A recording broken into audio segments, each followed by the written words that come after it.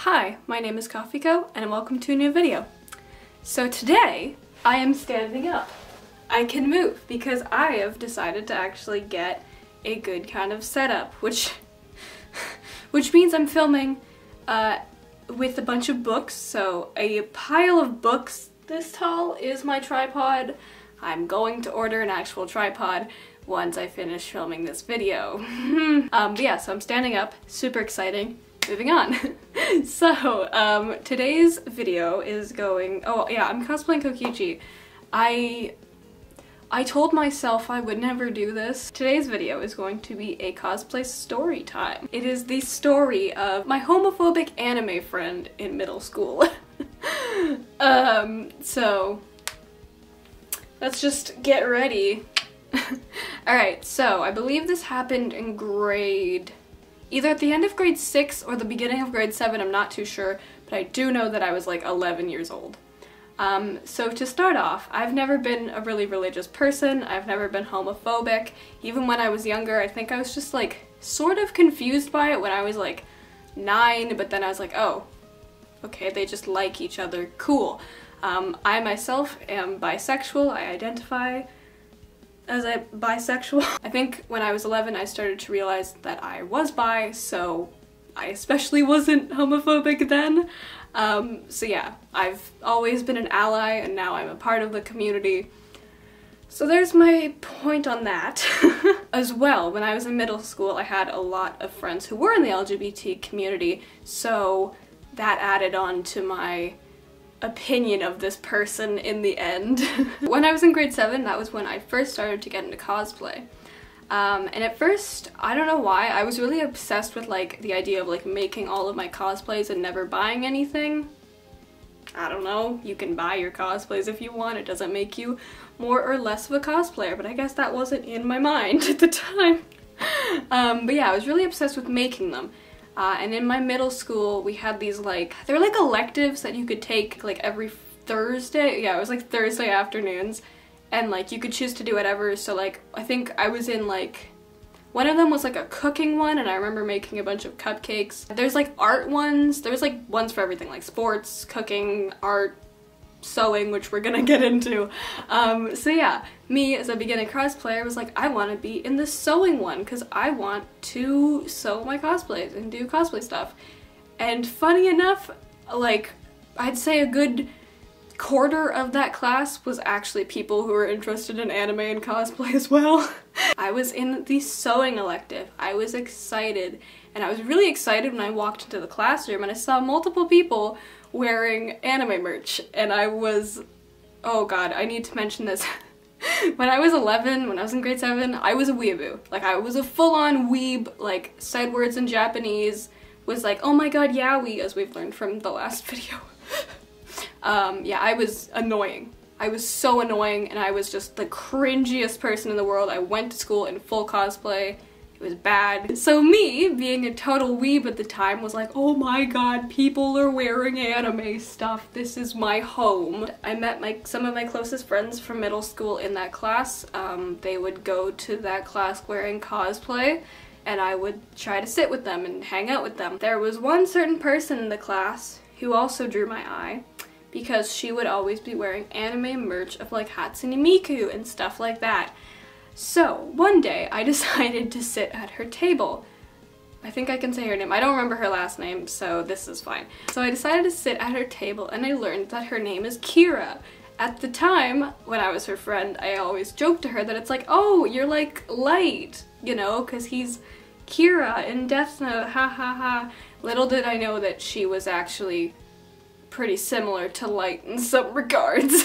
I talked to her, um, I learned that she liked to draw and that she was really into Vocaloid and she ended up drawing me a picture of Hatsune Miku uh, that I really liked so I put it on my wall when I got home. um, I distinctly remember talking to her and her friend about Fairy Tail because I didn't know what Fairy Tail was at the time. What a glorious time that was.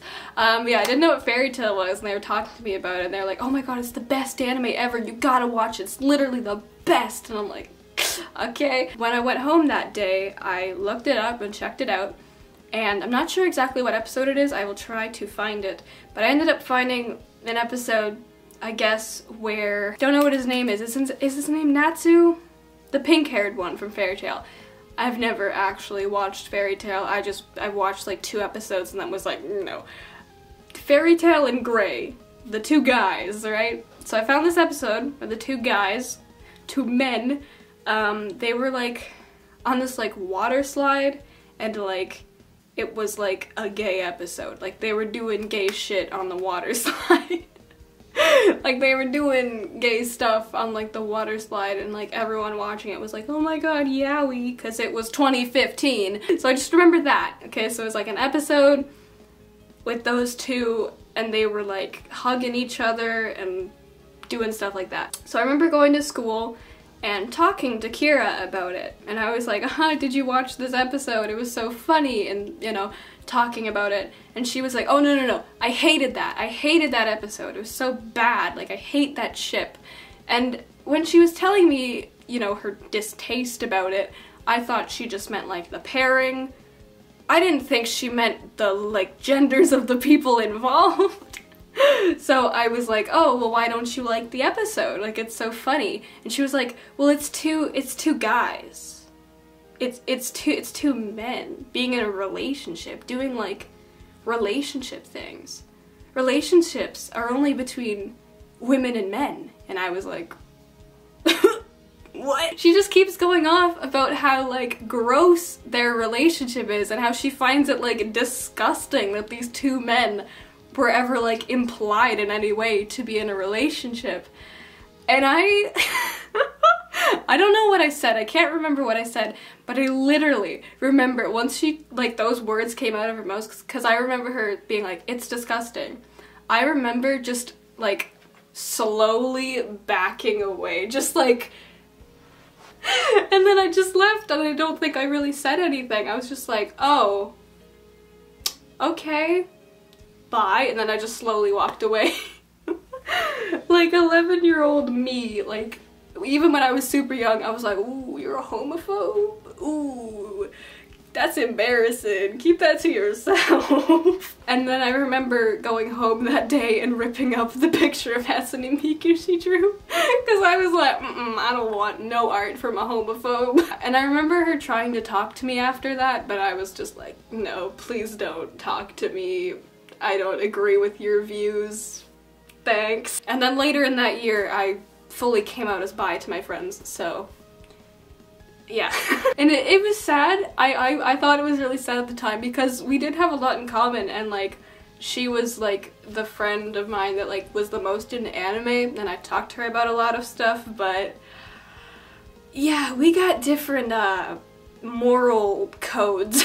we got different opinions on human rights. So so that was that was that time. That was fun. Luckily, I haven't interacted with many like homophobic people since because I just I tend to surround myself with people in the community. Um, but yeah. So the way to deal with homophobes are to just slowly walk away from them. So it was kind of a short story, but I, I like randomly remembered that that happened and I was like, mm, I should talk about this. This, this is a good, this is a good one. So yeah, in this household, we do not support homophobia in any way. But yeah, that's it. Uh, if you want to see more of whatever this is, um, feel free to subscribe. I will see you guys in the next video. Stay safe, wear a mask. Thank you so, so much for watching. I love you all so much. Thank you for almost 200 subscribers, by the way. That's insane. I will see you guys in next week's video. Play that outro.